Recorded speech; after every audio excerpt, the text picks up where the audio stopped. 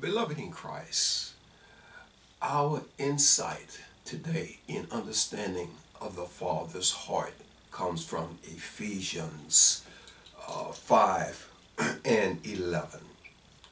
And I, Paul writes, Brethren, if I yet preach circumcision, why do I yet suffer persecution?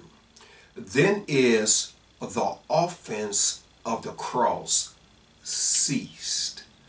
Paul was establishing that there is offense in the cross.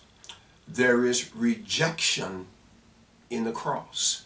There are those who uh, will uh, simplify the workings of, of the cross. And the reason for that, beloved, is because we're living then and in our times now in fulfilling a watered down gospel.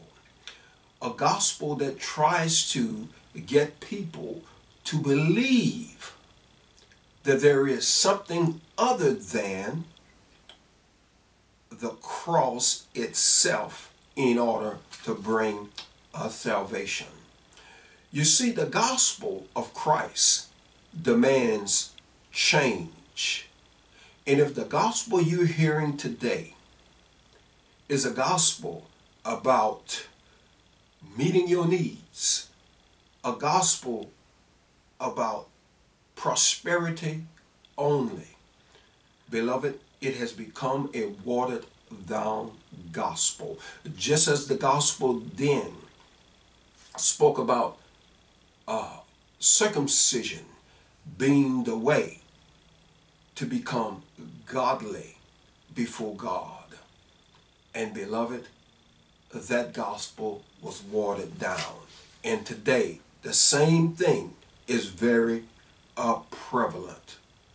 There are requirements by the watered down gospel. It says you must be in attendance, you must be this kind of giver. And that is what is established that you have a relationship with the Lord. Prosperity means everything. It means that you have a relationship with the Lord, but that is not true. There are many that are in poverty, but yet God is the head of their life. Beloved, we have to desire the meat of the word. We have to desire the sincere milk of the word, that we be not led astray by the gospel of inclusion and the gospel today that has been watered down. Beloved in Christ, seek the ways of the Lord and lean not upon your own understanding.